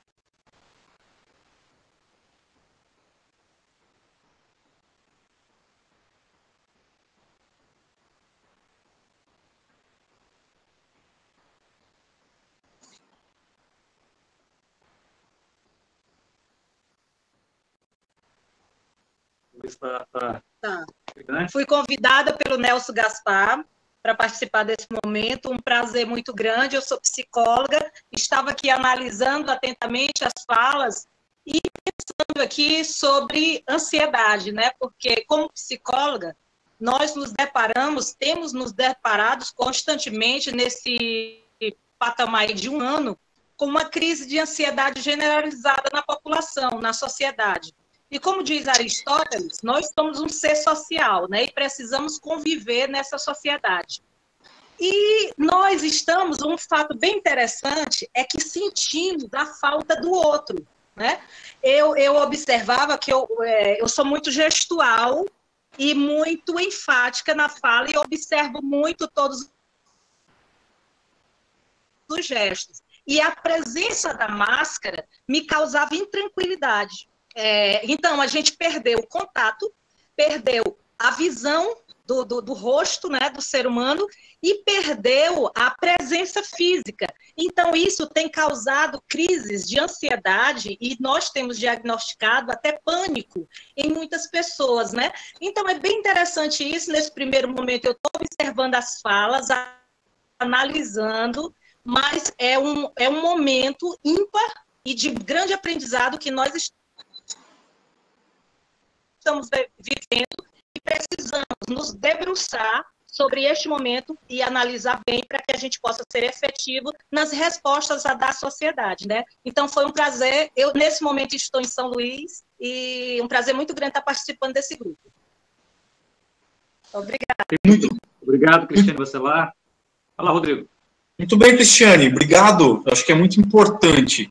Né? Eu acho que se a gente pode falar de agravamento da pandemia, falar de ansiedade devido a essa pandemia é essencial. Né? Até porque a ansiedade ela nos remete muito a uma questão de é, sofrer por antecipação. Né? É um sofrimento prévio daquilo que não, que não aconteceu. Então, assim, ó, eu acho que a gente está vivendo num momento, numa situação é, e, e, essa ansiedade é muito em virtude disso, é que ninguém sabe o que vai ser depois. Né? A gente está. Essa ansiedade que gerou dentro de muitas pessoas, exatamente em virtude de um medo pelo que pode acontecer. É sofrer. A ansiedade, penso eu, você pode me corrigir, seja nada mais nada menos do que você sofrer por aquilo que não aconteceu ainda. Né? E o sofrer por aquilo que não aconteceu é muito característico desse momento. Né? Não só a ansiedade, mas o sofrimento pós aquilo que a gente viveu. Né? A ansiedade eu relaciono muito à preocupação, né? ou seja, uma preocupação prévia, anterior ao acontecimento, é, e uma situação muito relacionada é, ao pós. Né? Aquilo que a gente vive pós o sofrimento. Então, são questões bastante delicadas, e quando a gente fala necessariamente em ansiedade, a gente está falando é, disso que a gente não consegue ver. É tentar vivenciar aquilo que é invisível. E é muito simbólico você falar da máscara. Né? Você não saber o que está por trás daquela máscara, os gestos, as emoções, a falta do abraço, né? você não ter essa capacidade de saber o que está por trás daquilo é, que está diante de você. E a pandemia nos causou isso. Muitas pessoas estão vivendo uma crise intensa de ansiedade, sim, né? De sofrer hoje por aquilo que não aconteceu ainda, né? Ou de sofrer por aquilo que já aconteceu, que a gente dá outro nome que me fugiu aqui, eu já vou lembrar.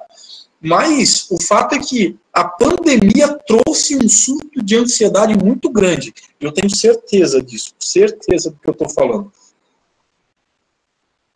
Okay, muito obrigado. É, Dani Ribeiro, boa noite. Né? Cristiane, diga aí, Cristiane. Fica à vontade. Desculpa. Não, não, só agradecer. Exatamente, confiando. Tá, obrigada. Boa noite. Obrigado, Cristiano. Cristiane, boa noite.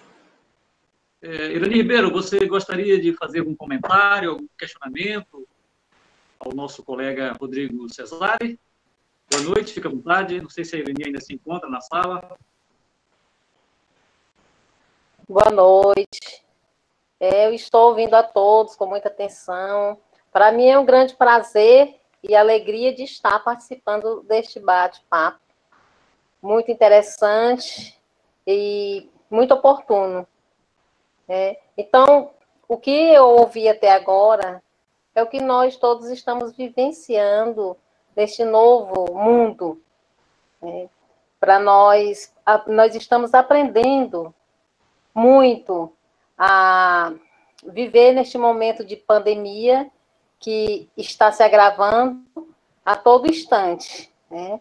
Então, é, eu sou colega do, do Gilvaldo, nós trabalhamos na mesma instituição e passamos o ano todo distante, distantes né? dos alunos, dos colegas, nos vendo assim só através do vídeo. Então, é também uma, uma grande oportunidade esta, que nós aprendemos a conviver com, com as lives. É, foi isso que nos reaproximou e que está nos reaproximando neste, nessa trajetória dessa pandemia que vai, que, que nós não sabemos até quando vai, até onde vai. O que nós sabemos e o, o que eu acho, a minha opinião pessoal, é que é uma oportunidade para cada um de nós é, nos modificarmos, nos melhorarmos, porque parece que nós que, que o planeta está sendo assim está, está sofrendo um processo de limpeza e nós estamos aprendendo muito com isso.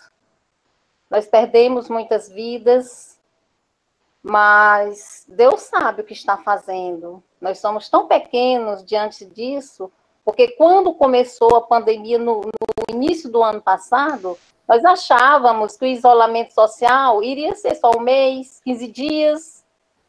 E aí?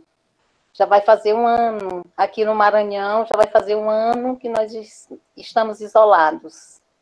E eu cumpri o isolamento. Eu passei o ano inteiro sem sair de casa. Minha família toda mora em Teresina, eu fui em Teresina em, em janeiro. É, com medo. Eu tenho medo. E respeito a minha vida, respeito a vida do outro. Então, aqui na minha casa, ninguém teve contato com o vírus. Ainda, porque nós não sabemos o que vai acontecer daqui para frente porque parece que está, ele está vindo com uma força mais é, maior ainda, que nós não sabemos. Então, nós temos que respeitar esse isolamento mesmo. Eu ainda não entendi porque que tem muita gente que acha que é brincadeira. Nós, nós vemos aqui, nós, a gente vê nos jornais, nas redes sociais, festas, é, aglomerações, é, e Infelizmente, isso resulta no que nós estamos vendo. muitas mortes, muitas. E isso é muito triste para o nosso país, que, vi, que vinha se desenvolvendo. E eu não sei qual será o nosso futuro, mas no, nós estamos tentando crescer como pessoa. E já foi falado muito na, na família, no lar. Eu já estava acostumada a viver no meu lar, mas as minhas plantinhas, coitadas, viviam sofrendo, porque eu não tinha tempo para elas. Trabalhando muito, e agora elas vivem sempre floridas porque estão tendo aquela atenção que elas precisam. Né? Então, eu só quero agradecer a todos vocês, agradecer ao Rodrigo por essa palestra maravilhosa e a todos que já falaram, só está acrescentando para mim. Obrigada ao Juvaldo por ter me convidado. É, e é isso. Boa noite a todos. Muito bem, Irani. Muito bem, obrigado pela contribuição. É, infelizmente, de fato, muita gente não, não leva a sério né, todo esse processo que a gente está vivendo. É aquela velha história, né? Para muita gente, enquanto ouvir falar em números, né, número de contaminados, número de mortes, não, não se dão conta. Né? Quando os números começam a se transformar em nomes, né, o pai, a mãe, o tio, o vizinho, aí começa a perceber o quanto o calo aperta. Né? Eu visitei inúmeros pacientes positivos e eu ouvi isso de inúmeras pessoas. Né? Poxa, né, a gente vê na TV, vê fora, eu nunca imaginei que meu pai fosse pegar, eu nunca imaginei que isso ia entrar dentro da minha casa. E as pessoas não, não esperam mesmo, por não acreditar. Né? Porque para a realidade de muitas pessoas, enquanto falar somente em números, né, não, não vão ter noção daquilo que verdadeiramente é. Apenas e somente quando os números começarem a se transformar em nomes, pai, a mãe, o vizinho, o tio, o amigo, aí as pessoas começam a, a ver a gravidade daquilo que a gente vai enfrentar e está enfrentando. Né, e muitas pessoas, por não acreditarem, não respeitam mesmo. Infelizmente, né, é uma falta de consciência coletiva. Né, porque eu já ouvi de muita gente, ah, não é ah, isso aí não dá nada, né? se eu pegar vai ser só uma gripe, eu sou novo, eu sou jovem, eu sou saudável, mas não é só sobre não pegar, né? é sobre não transmitir, porque outras pessoas com quem você tiver contato talvez não tenham a mesma sorte que você de ser saudável, sei lá, talvez jovem, ter uma imunidade boa, né? e muita gente sai transmitindo por aí, mesmo sabendo que está positivo porque está bem, sai por aí por não acreditar e acaba transmitindo para alguém que tem alguma comorbidade que possa vir a óbito. Então é uma falta de consciência coletiva por parte de muitas pessoas, né? Eu repito, é, essa pandemia ela nos ensina não só sobre não pegar, mas é sobre a responsabilidade social de não transmitir, né? Quando você fala da escola, é, de fato, essa pandemia foi um aprendizado para todos nós. E eu vou, eu vou abrir a margem aqui para uma reflexão que eu fiz pessoalmente. Eu penso que as famílias vão passar a valorizar muito mais o trabalho dos professores. Muito mais o trabalho dos professores. Porque as famílias passaram a entender o quanto nós, professores, somos guerreiros né? principalmente aqueles de educação infantil, todos, principalmente os de educação infantil, séries iniciais, né, onde passaram por essa atividade remota e o pai e a mãe tiveram que fazer atividade em casa com as crianças. Né? E, e perceberam a dificuldade. Muitos pais falaram para mim, Rodrigo, como é que dá conta? Eu não consigo fazer um exercício simples com meu filho em casa. O professor faz o mesmo exercício com 15, com 20 dentro de uma sala de aula. Né? Eu acho que, que nós, professores, vamos passar a ser vistos sobre um olhar um pouco diferente. Né? Os pais, eu acho que entenderam um pouco sobre a responsabilidade de educação. Né? O Cortella falou muito bem sobre isso. Né? O, o, o que nós interrompemos momentaneamente foi o processo de escolarização a educação nunca cessou. né? E muitos pais passaram a perceber a dificuldade da educação que é berço, que é dentro de casa. Eu vou ler novamente um trechinho do texto da Adriana Giampietra, que fala assim: precisou que o mundo parasse e o vírus ameaçasse a nossa sobrevivência para que os pais percebessem que educação se faz em casa e que escolas são sempre de socialização, que ensinar não é fácil e que professores são muito mais heróis do que aqueles que o cinema mostra. Eu acho que uma das grandes lições vai ser exatamente essa: o aprendizado coletivo de que nós, professores, temos um papel essencial e fundamental na sociedade. Né? Todos nós sabemos isso, é clichê. Né? A professor é a profissão que forma todas as outras profissões, é, e nós temos uma importância fundamental. Eu penso que é, o fato de evidenciar a falta que nós fizemos vai fazer com que a valorização do nosso trabalho seja cada vez maior. Né? Porque muitas vezes a gente só valoriza na falta. Né? Enquanto a gente tem, a gente tem e não sente falta de não ter, porque você tem. Né? O que, que você sente falta? O que, que você deseja, como diz o é, nosso colega Clóvis, né? O que, que você sente falta? Daquilo que você não tem. Né? É, daquilo que você tem, você tem. Você sente falta do que não tem. Então, essa pandemia fez com que as pessoas tivessem falta do nosso processo de escolarização, dada a importância que se evidenciou a partir de agora. muito obrigado, Rodrigo. É, alguém que está na sala que não foi chamado, que gostaria de falar, fazer parte, fique à vontade. Max chegou há pouco tempo. O William Kelso, não sei se ele se encontra.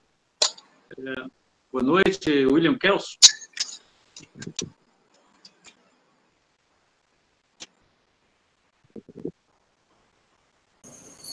não sei se o William quer falar, mas eu queria fazer um comentário antes de tudo. Queria parabenizar pelo, ao Rodrigo.